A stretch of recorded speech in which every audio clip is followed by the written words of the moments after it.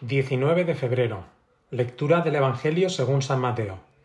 En aquel tiempo los discípulos de Juan se le acercan a Jesús preguntándole, ¿por qué nosotros y los fariseos ayunamos a menudo y en cambio tus discípulos no ayunan?